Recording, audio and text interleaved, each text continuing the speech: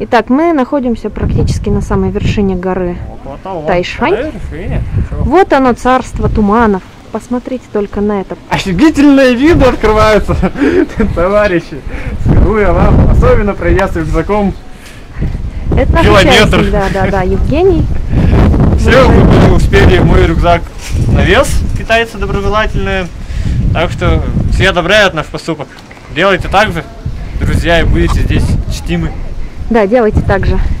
Это царство шмоток, которое предлагает всяким разным лауваем, типа туристам.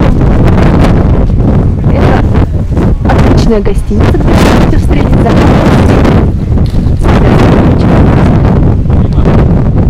Там местные, местные, местные. Сейчас посмотрим, мальчик или девочка.